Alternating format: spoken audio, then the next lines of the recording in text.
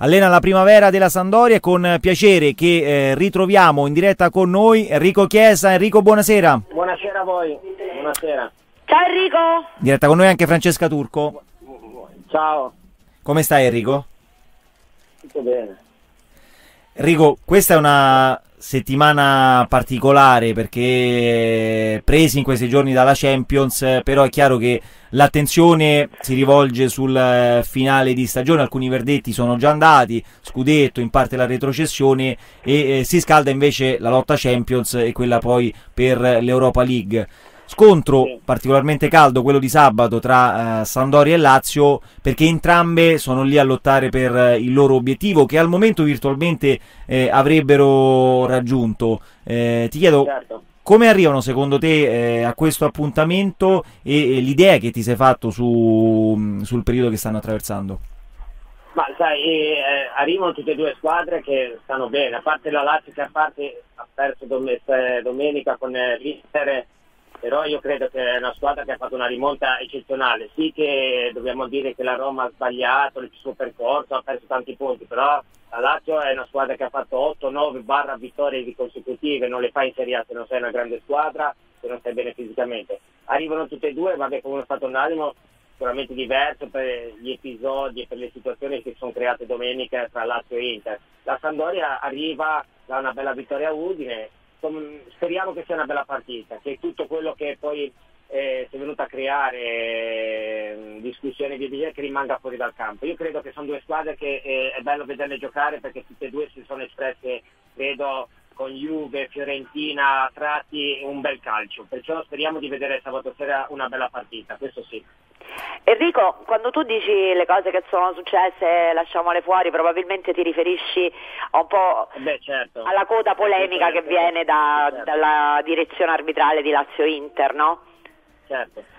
Il timore adesso, al netto che magari errori no. ci sono stati, ci hanno fatto anche molto arrabbiare. Io non sono qua, no, questo, questo ci mancherebbe. Credo che eh, sono successe delle situazioni che è normale che eh, i nove uomini, vi dicendo, si sono venute a creare delle situazioni eh, un po' particolari. Chi ha ragione, chi ha torto, chi si fa... No, no, ma io non volevo entrare nel merito adesso della ridirezione ah, di massa e l'ho ah. archiviata. Però visto eh, la coda che c'è stata, uno dei miei timori è quello che si possa far strada alimentando questa, cioè non chiudendo quello che è successo con l'Inter, tanto ormai è andata, non ci si può più far nulla, però eh, per quello che è uscito sui giornali e quant'altro, il mio timore è che si possa far strada anche nella testa a, magari dei più giovani, eh, l'idea che puoi fare tutto il tuo meglio però qualcuno non ti vuole. e sarebbe un suicidio questo eh? no beh credo che come ho detto prima speriamo che questo non succeda ma non credo. Poi ma questo può capitare nella testa di un giocatore? inconsciamente è normale, siamo persone, eh, io sono stato calciatore, siamo persone normali che pensano, fanno, eh, leggono, eh, perciò credo che è normale che qualcosa può, può, eh, può, succedere, ma io credo che poi credo che se ne parli durante la settimana, durante gli allenamenti. Poi poi quando entri in campo è normale che possano verificarsi tante situazioni. Io mi auguro come prima di no, assolutamente no, perché sono due squadre tanto belle da vedere quando giocano a pallone e tutto quanto. Speriamo che, come ho detto prima, che sia una bella partita.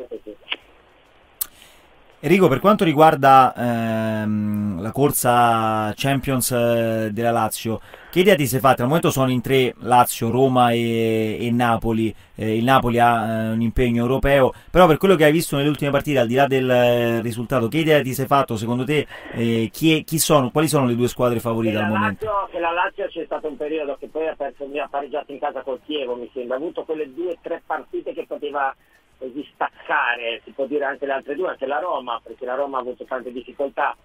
La Lazio devo dire che alla fine non ha nulla da perdere, nel senso che ha fatto una rincorsa eccezionale e credo che ha dato tutto quello che poteva dare, se arriverà in Champions è una squadra che merita di andare in Champions. Ha fatto un, un girone di ritorno straordinario. Napoli è sempre lì e lì, cerca quasi si avvicina poi cade come è successo a Parma oppure come è successo a Empoli la Roma nell'ultimo periodo, soprattutto nel giorno di ritorno, fa molta fatica, fa, ha degli alti e bassi che fa molta fatica. In questo momento, sai, a livello un po' così anche di, come giocatori, come dire, tanto mi gioco qualsiasi cosa, che tanto ho, quello che ho fatto in più l'ho fatto, come ha fatto la Lazio nelle otto vittorie consecutive, perciò a livello anche inconscio può stare anche meglio la Lazio. Può arrivare al derby anche un po' più, tra virgolette, tranquilla, anche se poi parliamo di tranquillità al derby di Roma, è un po' difficile.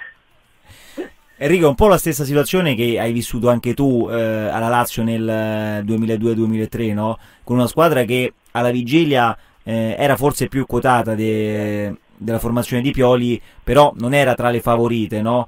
Eh... No, beh, bisogna pensare che c'erano altre squadre fortissime. Eh. Noi pensiamo che nel cavallo tra il 99, 2000 e 2001 la Lazio, la, la, c'era la Roma, c'era il Milan, c'erano diverse squadre. Ecco magari adesso ce ne sono due o tre, magari la Juve che è stata questa, prima invece ce n'era molto di più, la competitività era molto più forte. Sicuramente era una Lazio veramente giovane, spregiudicata in certe situazioni perché gli piaceva giocare, gli piaceva divertirsi, perciò credo che è stata la sorpresa del campionato sotto tutti i punti di vista. E la, e la squadra di Pioli sta ripercorrendo questo, è una squadra che così con le otto vittorie l'ha tol- gli ha tolto di un peso, di una pressione, è andata avanti e giocando bene, vedendo nel nell'allenatore e si vedono le partite della, della Lazio. A parte qualche so, partita il Chievo, altre partite, però è una squadra che gioca, gioca per vincere, magari rischiando certe volte, come è stata anche con l'Inter, però ha, ha giocato anche in 9. Se non stai bene mentalmente quelle partite con l'Inter anche in 9 non le fai. Francesca? No, volevo chiedere a Enrico, adesso mm, queste, le ultime partite giocate dalla, dalla Lazio hanno prodotto, ovvio non, pote, non, si poteva neanche pensare che potesse vincerle tutte, però diciamo che eh, i risultati dicono che qualcosa si è inceppato.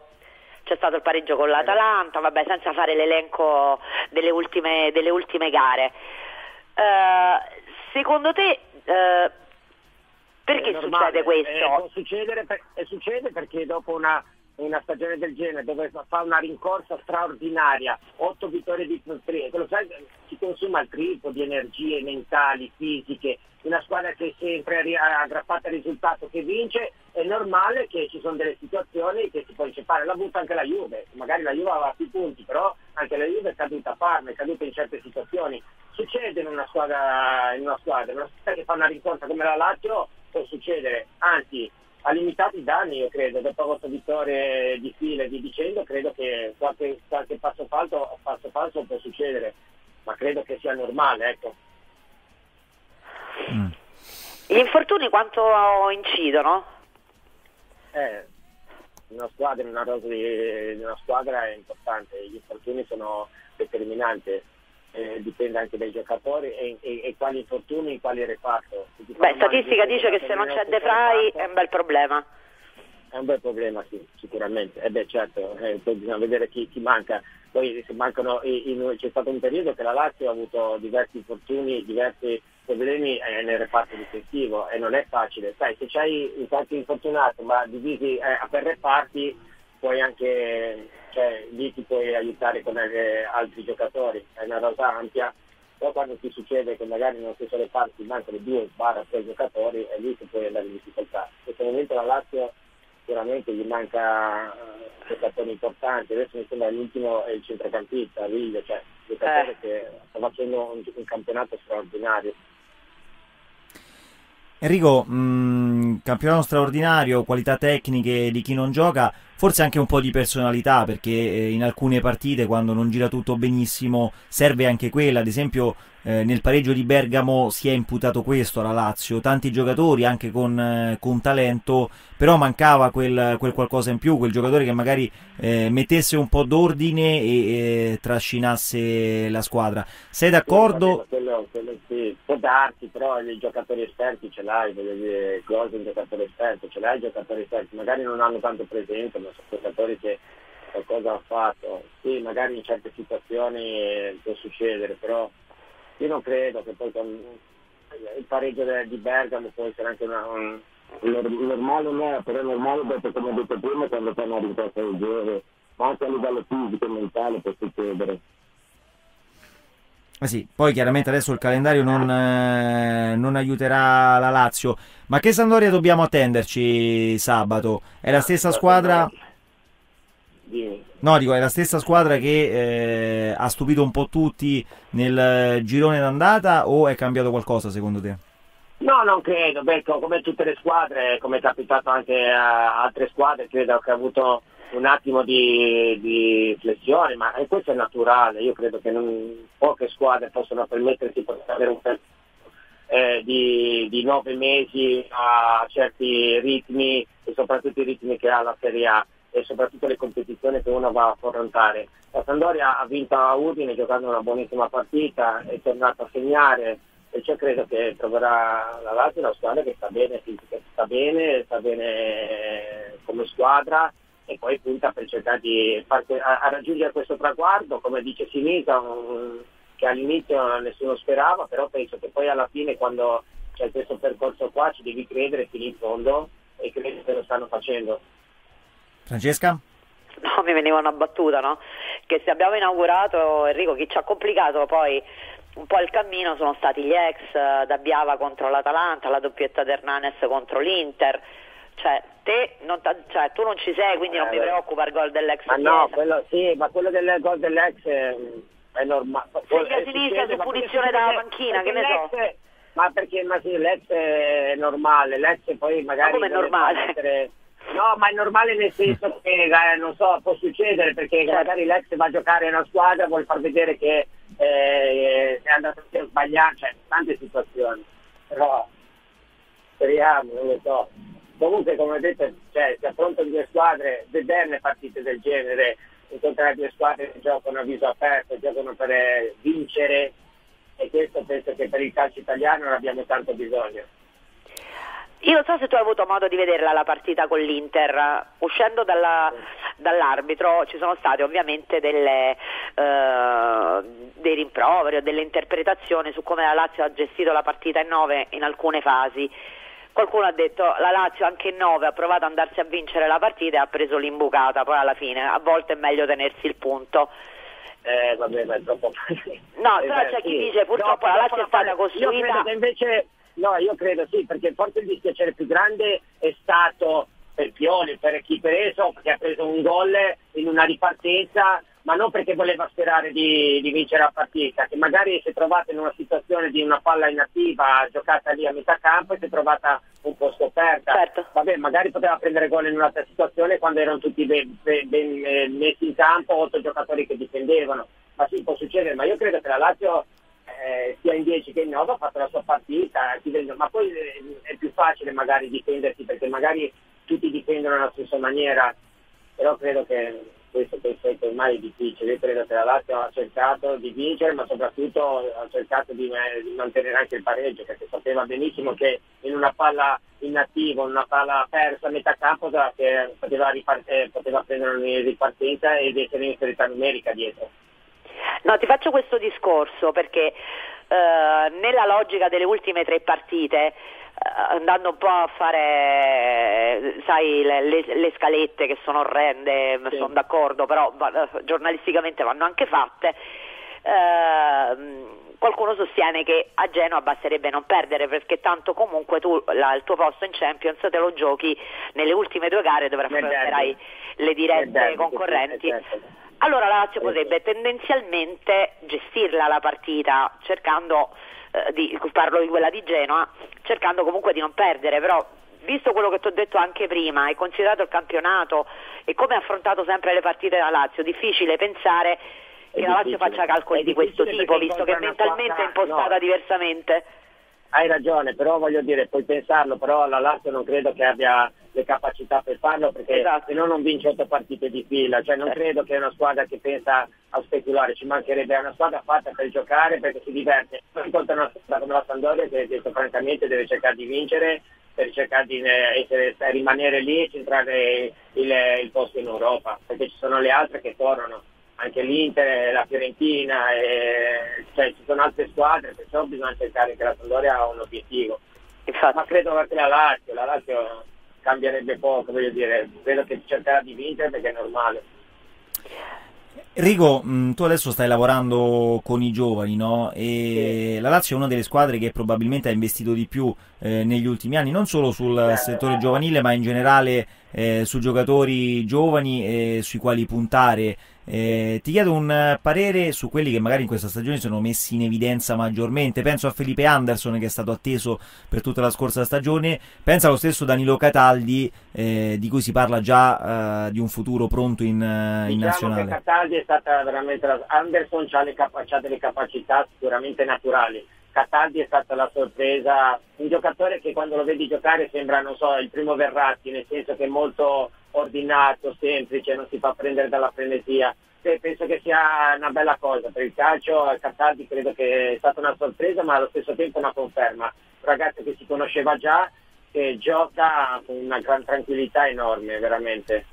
Anderson eh, le, le conoscevamo tutte le sue capacità, il fatto che, che poi è esploso aveva le, le, le, doti per farlo questo. Sicuramente ci sono state le partite che ha vinto la partita da solo. Lo scorso anno sembrava che il più pronto fosse Keita, invece quest'anno fatica di più quando invece sembrava quello più eh, pronto ad esplodere. In realtà ha subito un po' un, uno stop Keita. Secondo te come lo dobbiamo Ma leggere? anche come modo di gioco di Pioli. Adesso io non so gli allenamenti e vi dicendo, cioè non è facile per un giovane. Eh, la sorpresa lo può essere, è il problema che poi ti deve riconfermare, come potrebbe essere quello di Cataldi, nel senso che il primo anno sei la sorpresa vi dicendo, però poi ti devi confermare. Nel calcio poi quello che conta è essere sempre eh, cioè ogni anno eh, confermati ai, ai, propri livelli. L'età sì, può darsi anche per il modulo, per il modo di giocare di Pioli, magari su una punta con altri giocatori che, trequartisti che partono da dietro, però è un ragazzo che credo che ha, eh, ha un futuro importante perché ha delle capacità notevoli come ragazzo, come giocatore, quando entra fa sempre la sua parte, perciò credo che mh, la pressione ci sarà, però credo che ha, ha le potenzialità per far bene. Anche tu sei dell'idea che comunque la Lazio eh, il suo campionato ce lo giocherà, il suo obiettivo se lo giocherà nel derby?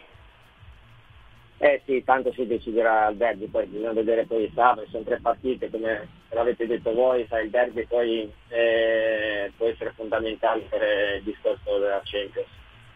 Veramente arrivare alla penultima giornata, un derby di Roma, credo che tutti l'avrebbero scritto, sai, sognato, dite, cioè per quelli che poi stanno di fuori, non so i tifosi Lazio Roma, perché ci sarà una tensione incredibile, però credo che per uno che è appassionato al calcio, gli piace il calcio, credo che vedere un Lazio-Roma decisivo per la Champions eh, non è niente male. Beh, tu tra campionato e Coppa Italia ne hai giocato qualcuno, Enrico? Sì, sì, sì. Beh, lo giocando e poi conoscendo benissimo l'atmosfera che c'è prima eh, durante la settimana che precede il derby. Però io ho sempre raccontato, lo dirò sempre, io credo che vivere il derby, ho vissuto anche il derby di Genova, e nelle, con le proprie dimensioni, normale, però quello di Lazio e Roma incredibile veramente. E mi ricordo là, il 2 a 2 che poi Sinisa aveva sbagliato il rigore dei 3 a 2 è stata una cosa, cioè entrare in campo, non sentire neanche probabilmente il tuo compagno di squadra, l'allenatore assolutamente non lo senti quando parla. Potrebbe essere un bene magari. Ma, no, sì, un bene, un male, non lo so, però tu ti, eh, eh, hai una concentrazione eh, altissima che a un certo punto tu ti esuli da, dai tifosi perché sennò veramente è difficile concentrarsi sulla partita perché c'è questa grande atmosfera, questa partecipazione. Eh, noi giocavamo in casa, era una cosa incredibile veramente. Cioè, quando racconto l'episodio di Roma, di, di tanto, pure le esperienze mie della carriera, devo, devo, dire che Roma, la Lazio come tifo, come partecipazione, e il derby, vivere il derby penso che per un giocatore eh, veramente è una cosa straordinaria, perché c'è un'atmosfera che va al di là della partita di calcio. C'era qualcuno che lo soffriva in particolar modo, Enrico? Beh, c'erano dei giocatori, poi sai inconsciamente delle volte non lo fai neanche a vedere, magari te lo tieni dentro per, durante il ritiro, però se ne parlava. Io mi ricordo che il giovedì precedente venivano sempre 2-3 mila persone a Formello, c'era una partecipazione straordinaria. Era una squadra di, di grandi giocatori, l'allenatore Mancini eh sì, sicuramente ci sono i giocatori che soffrono un pochettino un po' di più degli altri, eh, questo è normale, però poi sai, quando entri in campo cerchi di, di così mascherarlo con la, con la, col giocando, ma lì era anche difficile. Francesca, l'ultima e poi salutiamo Enrico. Sì, no, dicevo che so che bisogna pensare a una partita alla volta, quindi vorrei non, voler, non dovermi pentire eh, di, salta, di, insomma, di, non pensare alla Samp, per, ah, però stavo parlando di derby. Ti dico, visto quello che c'è in palio, visto anche gli obiettivi di inizio stagione, come si è sviluppata la stagione, secondo te in questo derby c'è un favorito dal punto di vista di quanto possono accusare il peso di questa partita? No, io non credo, sì, credo che ehm, eh, supererà le difficoltà del derby chi arriverà eh, la squadra più preparata a livello mentale. Esatto. Perché il derby poi è a livello mentale, certamente fisico, ma è a livello mentale cioè a livello parte de, della squadra, del giocare, delle, cioè, di tante situazioni. E io credo chi arriverà un punto in più, un punto in meno, non credo che cambi qualcosa, l'avete detto anche voi, perciò credo che sarà determinante chi arriverà più preparato a livello mentale. Beh, poi fisico ci sarà, ma a livello di preparazione. Chi, chi, dirà io ho fatto di tutto per arrivare a questo derby, non ho nessun rimpianto, e, e gioco per vincere però più, con più tranquillità. Certo. E ci auguriamo che la Lazio possa arrivarci meglio. No, eh, posso rubare ancora 30 secondi da Fabio di non arrabbiarsi? Visto e considerato che poi la partita... Ma abbiamo fatto un tempo, però siamo arrivati. Uh, al volo al volo chiedo a Enrico questo. Sì. Uh, stasera la Juventus va in campo e si sta giocando la finale. Sì. Uh, potrebbe essere, cioè, se, ci auguriamo che la Juventus arrivi in finale, però se, se la Juventus arriva in finale, la finale di Coppa Italia è anticipata tre giorni prima del derby. Eh, non lo so, forse troveranno un sistema per far sì che la rimandano la, alla finale capitale. No, no, no, la so. giocano purtroppo lo, il 20, vero? Sì, il 20, eh, il 20 e il 24 il derby. Eh, due, partite, due, due partite così a livello poi come sportivo, come vedere una partita di calcio non è facile, anche per un attore gestire due partite del genere non è facile sicuramente. Ma inconsciamente si fa una scelta?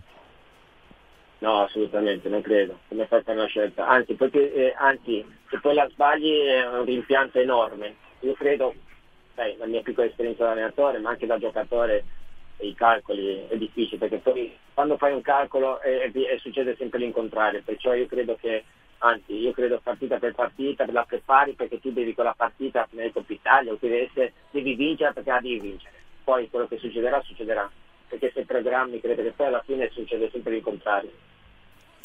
Enrico, noi ti ringraziamo veramente, sei stato gentilissimo, è un piacere averti in diretta e soprattutto buona fortuna per la tua avventura. Grazie, grazie mille, arrivederci. Ciao Enrico. Grazie, arrivederci.